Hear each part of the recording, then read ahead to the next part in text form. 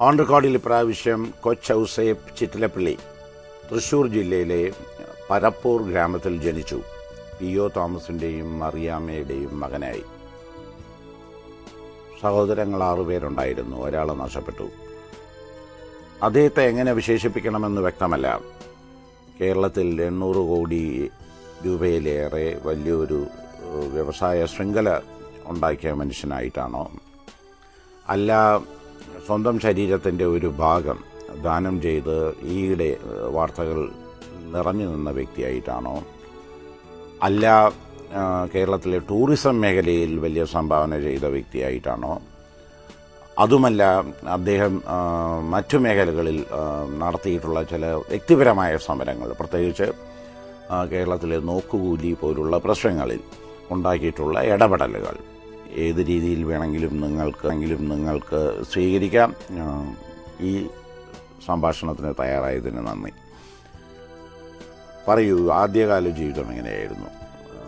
പറപ്പൂർ ഗ്രാമത്തിൽ. അത് പറപ്പൂർ ഗ്രാമം വളരെ ഒരു കുഗ്രാമം തന്നെയായിരുന്നു.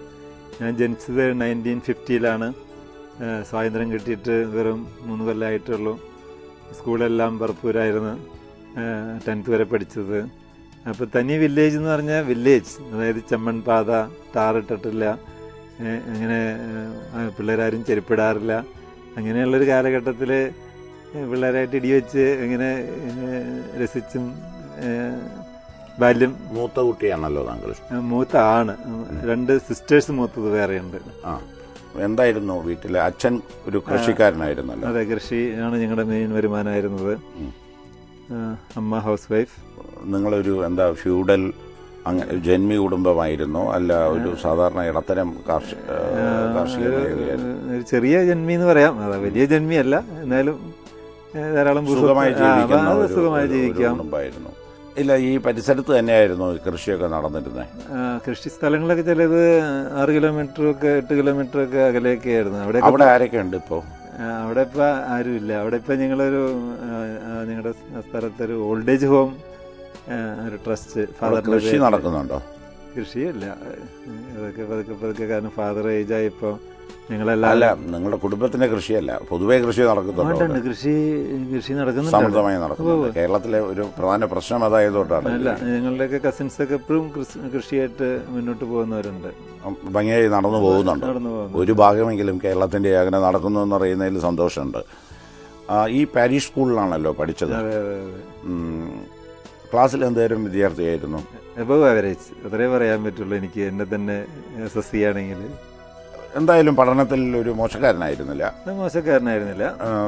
പക്ഷേ പഠനം മാത്രമല്ല അന്നത്തെ കാലത്ത് അത് എന്റെ ഇത് കിളികളെ വളർത്തും എണ്ണാനെ പിടിക്കും അളവ് വളർത്തും പിന്നെ അങ്ങനെയൊക്കെ പശുക്കുട്ടിയെ നോക്കണം. അങ്ങനത്തെ ഒത്തിരി കുടുംബജോലികളും അന്നത്തെ ഒരു ഭാരമാണ് അത് ആ സ്വഭാവങ്ങൾ ഇപ്പോഴും നിങ്ങളിലുണ്ടല്ലേ ഈ സ്നേഹ സ്വഭാവങ്ങൾ അല്ലേ? എനിക്ക് അതിനോടൊക്കെ താല്പര്യമുണ്ട് ഈ വീഗാലാൻഡ് പോലുള്ള പ്രസ്ഥാനങ്ങൾ ഉണ്ടാകാൻ കാരണം ഒരുപക്ഷെ അതായിരിക്കും. സ്വല്പം അതൊക്കെ ഇൻഫ്ലുവൻസ് ചെയ്തിട്ടുണ്ടാവാം. അതിലേക്ക് നമുക്ക് മടങ്ങി വരാം. ഈ ഗ്രാജുവേഷൻ പോലുള്ള അവസ്ഥയിലേക്ക് ഒന്ന് പറയൂ. കോളേജ് ആദ്യം എനിക്ക് ഭയങ്കര ബുദ്ധിമുട്ടായിട്ട് തോന്നി. കാരണം നമ്മൾ ഞാൻ ക്രൈസ്റ്റ് കോളേജിലാണ് ആദ്യം പ്രീ ഡിഗ്രി പഠിച്ചത്.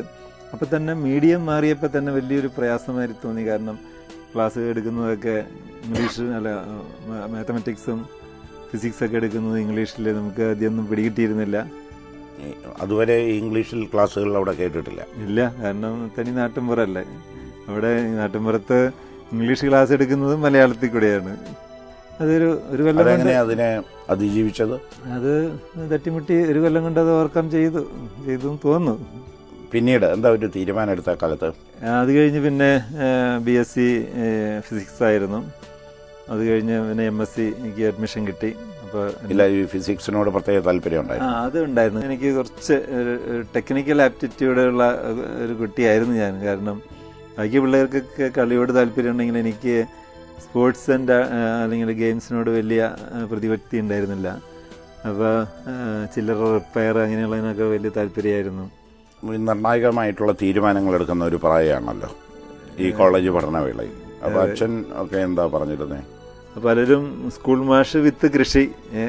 അങ്ങനെയൊക്കെയാണ് പലരും നമ്മുടെ ചുറ്റുവട്ടത്തുള്ളവര്. അപ്പോൾ അപ്പം ഇപ്പൊ ഫാദറിന്റെ ഒക്കെ ആഗ്രഹം തൊട്ടടുത്തൊരു വീട് പണി ചെയ്യണം അവന് അവിടെ ഒരു സ്കൂൾ മാഷൊക്കെ ആയി കിട്ടിക്കഴിഞ്ഞാൽ കൃഷി നോക്കാം. ജോലി തുടരുകയും ചെയ്യാം. പഠിച്ചോ? പക്ഷേ എങ്ങനെയാ അത് തർക്കം ഉണ്ടായിട്ടുണ്ടോ വീട്ടിൽ? തർക്കമല്ല. അപ്പോൾ ഒരിടയ്ക്ക് എന്നോട് പറഞ്ഞു ഞാനിവിടെ ഒരു വീട് വേറെ പണിയാൻ പോകുന്നതാണ്. അതെന്തിനാന്ന് ചോദിച്ചപ്പോൾ പറഞ്ഞല്ല നീ ഇവിടെ നല്ല സ്കൂൾ മാഷൊക്കെ ആയിട്ട് ജോലി ചെയ്താൽ മതി. അത് കഴിഞ്ഞ് അപ്പോഴേക്കും വീടൊക്കെ ഉണ്ടാവും എന്നുള്ള പോലെയൊക്കെയായിരുന്നു ആളുടെ ഒരു ചിന്താഗതി. എം എസ് സിക്ക് എം എസ് സി കഴിഞ്ഞു. അത് അപ്പോഴത്തേക്ക് ഏതാണ്ട് ഒരു ധാരണ ഉണ്ടായി കാണുമല്ലോ അപ്പോഴേക്കും എവിടെയെങ്കിലും എന്റെ കോളേജിൽ പഠിക്കുമ്പോൾ എന്റെ ആഗ്രഹം ഏതെങ്കിലും ഒരു റിസർച്ച് അസിസ്റ്റന്റ് ആയിട്ട് എവിടെയെങ്കിലും ജോലി കിട്ടുക like B A R C I S R O അല്ലെങ്കിൽ അങ്ങനത്തെ ലീഡിങ് റിസർച്ച് ഇൻസ്റ്റിറ്റ്യൂട്ടിൽ ജോലി കിട്ടുക എന്നുള്ളതായിരുന്നു എന്റെ എംബിഷൻ അങ്ങനെ അപ്പോൾ ഞാൻ നാട്ടിൽ നിന്ന് പോകണം കാരണം എല്ലാവരും ചോദിച്ചു ഞാൻ ജോലി ആയില്ലേ? ജോലി ആയില്ലേ? എന്ന് ചോദിച്ചിട്ടുള്ള ഒരു അത് അപ്പോൾ അങ്ങനെയല്ലേ നാട്ടിൽ നിന്ന് പോകണം എന്നുള്ള അതിലിരിക്കുമ്പോൾ ഒരു കിട്ടിയ ജോലിക്ക് അങ്ങ് പോയി. തിരുവനന്തപുരത്ത്. തിരുവനന്തപുരത്ത് ചെറിയ കമ്പനിയിൽ ഒരു ഒരു ട്രെയിനി ആയിട്ട് ജോലി കിട്ടി. ഞാൻ പറഞ്ഞു എനിക്ക് ജോലിയൊക്കെ കിട്ടി ഞാൻ പോവാണെന്ന് പറഞ്ഞ് ഒറ്റ വിടൽ വിട്ടതാണ്. ഏതായിരുന്നു ആ കമ്പനി ഒരു ടെലിക്സ് ലിമിറ്റഡ് എന്ന് പറഞ്ഞ ചെറിയ കമ്പനിയാണ്. അത് കെൽട്രോണുമായിട്ട് എന്തോ ബന്ധം ബന്ധമുണ്ടായിരുന്നു അവർക്കൊരു ഒരു. അസോസിയേഷൻ ഉണ്ടായിരുന്നു. അപ്പോൾ അവിടെ ഒരു സൂപ്പർവൈസർ ട്രെയിനി നൂറ്റമ്പത് രൂപ സ്റ്റൈഫൻഡ് ഇതായിരുന്നു ആദ്യം പിന്നീട് അത് എണ്ണൂറ് രൂപയായി പിന്നെ പടിപടിയായിട്ട് ഞാൻ അവിടെ ഒരു മൂന്ന് വർഷം വലിയ കാശായിരുന്നു വലിയ കാശാണ്. കാരണം പോയി പറയാനൊക്കെ പറ്റിയത് കാരണം ഞാൻ എന്റെ ഒക്കെ ഒപ്പം പഠിച്ചിരുന്ന ചിലവര് ബാങ്ക് ജോലിയിൽ കിട്ടിയിരുന്നതും ക്ലർക്ക് പോസ്റ്റിനൊക്കെ കിട്ടിയിരുന്നതും. എഴുന്നൂറ്റമ്പത് രൂപ അല്ലെങ്കിൽ എണ്ണൂറ് രൂപയ്ക്ക് തന്നെ ഉള്ളൂ. അവിടെ നിന്നാണ് ഇനി ഞാൻ സ്വന്തമായി എന്തെങ്കിലും ചെയ്യാൻ തീരുമാനിച്ചു അല്ല എപ്പോഴും അപ്പോഴും ഞാൻ അവിടെ നിന്നുകൊണ്ട് തന്നെ മൂന്ന് കൊല്ലം വേറെ ജോലിയൊക്കെ അന്വേഷിച്ചു. ഇത് പല ഇന്റർവ്യൂവിനും പോയിട്ടുണ്ട്. പക്ഷെ ഭാഗ്യത്തിനോ നിർഭാഗ്യത്തിനോ ഒന്നും കിട്ടിയില്ല എന്നുള്ളതാണ്. താങ്കളുടെ താഴെ ഉള്ള താഴെയുള്ള സ്ഥാപനങ്ങളിൽ പ്രവർത്തിക്കുന്നവരുടെ എണ്ണം എത്രയാ ഫോർ തൗസൻഡ് നാലായിരം നാലായിരം പേർക്ക് ജോലി കൊടുക്കാൻ ഇപ്പോൾ സാധിച്ചല്ലോ അതുകൊണ്ട്. അതുകൊണ്ട് ഭാഗ്യത്തിന് തന്നെയാണ് നമുക്ക് തീരുമാനിക്കാം. ആ- ആദ്യത്തെ കാൽവയ്പ് എങ്ങനെയായിരുന്നു? അപ്പോൾ എന്നിട്ട് അപ്പോൾ ഞാൻ വിചാരിച്ചു ഏതെങ്കിലും സ്വന്തമായിട്ട് തുടങ്ങണം എന്നുള്ള കുറേ നാളെ മനസ്സിലെ ആശയം കൊണ്ട് നടന്നു. പുറത്ത് പറയാൻ കൊള്ളില്ല കാരണം. പക്ഷേ ആ മൂന്ന് കൊല്ലം ഞാൻ അവിടെ ജോലി ചെയ്തപ്പോൾ എനിക്ക് ഒത്തിരി എക്സ്പീരിയൻസ് നേടാൻ സാധിച്ചു. പല പ്രോഡക്ട്സ് കഴിച്ച് റിപ്പയർ ചെയ്യാനും.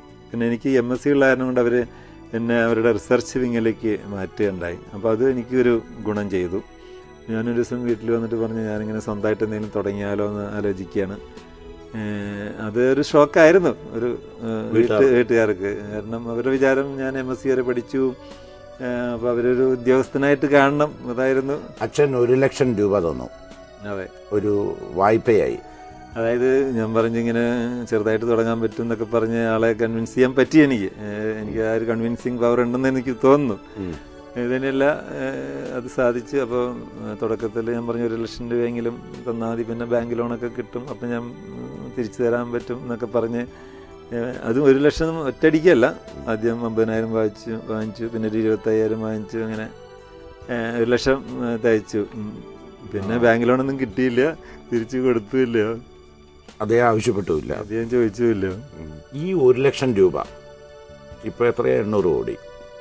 അതെ. അത് കൂടിയിട്ടുണ്ടോന്ന് എനിക്കറിയില്ല. ഞാൻ ഏറ്റവും കൂടുതൽ നോക്കിയ കണക്കുകൾ എണ്ണൂറ് കോടി എത്തിയിട്ടുണ്ടാവും.